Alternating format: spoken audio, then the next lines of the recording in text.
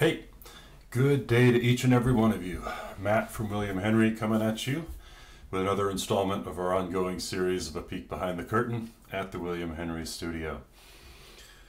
And for this installment, um, I want to talk about one of my very first designs that is still a core part of the William Henry collection. So, 1997, I was relatively a kid none of this gray stubble, none of these wrinkles. And uh, I started William Henry and I was designing the original collection.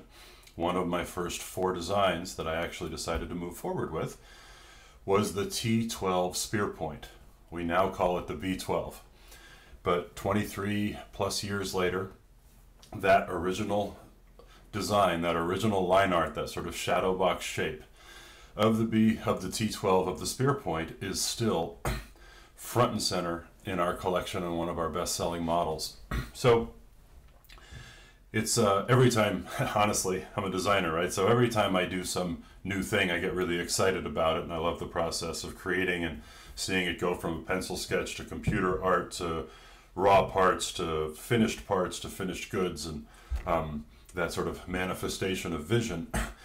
And I always think I've got something great and hopefully it's always good, but not necessarily always great. And for whatever reason, um, the the spear point folder just turned out to be great, and we have done many hundreds, if not possibly over a thousand different permutations of that knife over the years. Um, it started as a T10, or excuse me, a T12, was the code number for it, or our SKU number for it, and that was a liner lock with a titanium frame and in around 2003, when I started making button locks and really fell in love with them, I took a look at my already at that point classic original patterns. And in around 2005, I updated them, including the T12 to the B for button 12, and adapted all of that geometry to be able to make a button lock. And in the intervening years, I've done a couple different handle styles and different inlay shapes, but that blade shape, that sort of big belly, with that front finger grip, sort of that choil, where the handle transitions directly into the curvature of the blade to give you a really secure resting point for your front finger or for your thumb, depending how you hold it. Um, that has been a hallmark uh, of William Henry all through these years. And the design originally was inspired by when I was 19, I uh, had sort of an apprenticeship in a little knife shop on the coast of California. And uh, we mostly, that shop mostly made fixed blades, sheath knives, uh, kitchen knives, handful of really interesting folders, but uh, the, the guy David Boye, who owned the shop and was the designer, did a lot of great utility knives that were relatively short and compact, but with a really severe drop so that you had a really secure finger guard.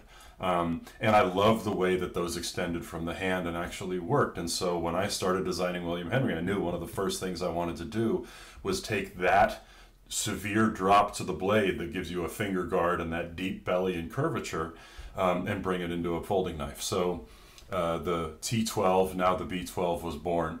And um, it continues to be really strong. I just love that, you know, with a, with a, with a pocket knife, mostly what you're doing is carrying it right? Occasionally using it, but mostly you're carrying it. So how big and heavy uh, the thing you have to carry is really important. Hence my attention to making things as strong but also as light as possible. And with this geometry, it allows for enough blade to do anything you'd ever really want to do with a pocket knife for sure in a very comfortable and secure way but that transitional sort of choil between the frame and the blade gives you a full really full hand grip on it that's much more comfortable so I don't have to make the handle bigger because I've actually stretched the handle into the blade design a little bit without compromising the utility of the blade. So uh, that's a little nerdy and technical, I know, but this is what I do, what I live and breathe. And so, uh, final note we continue to make the B12s and we always have an extraordinary range, certainly true now.